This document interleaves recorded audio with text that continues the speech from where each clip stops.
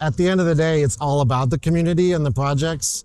So one reason why I'm involved in the CNCF at all, is to try to give back and really represent or offer visibility to all the people that are working hard to form the foundation of all the technology we rely on. My name is Stephen Rust. I'm a principal architect at Akamai Cloud. My teams work on all things cloud native uh, inside of Akamai. I lead the architecture across all of our managed services, managed Kubernetes products, uh, as well as internal platforms.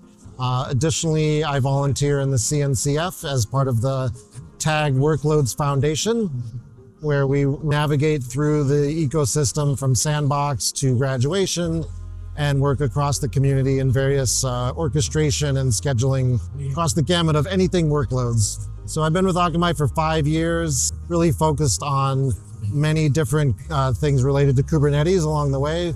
We built, uh, my third generation of internal platforms in Akamai.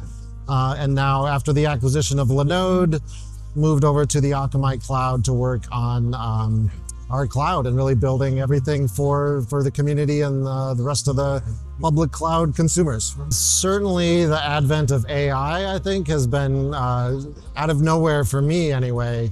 And now it's sort of everything you hear about, which is good in a sense as an infrastructure provider because our goal is to build uh, the infrastructure and the, the resources that whatever anyone wants to use, we can provide. Offer things like AI inferencing, um, and really leverage for Akamai, leverage the uh, global distributed nature of our network in a good way uh, to bring that uh, the edge workloads back to uh, inferencing with uh, within the core sites of our cloud.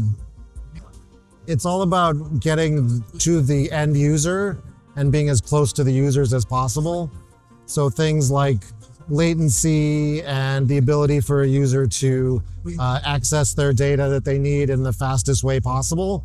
The edge is the closest to the user. And especially in an optimized sense, the edge is much closer to the user than say uh, what you may think of as you know uh, a typical cloud provider. As the CNCF has announced here at KubeCon, uh, AI inferencing is really the future and one of the big areas of growth and improvement within the community. So we feel uh, primed to kind of enter that uh, discussion and be a part of that as whatever that whatever we can in that area.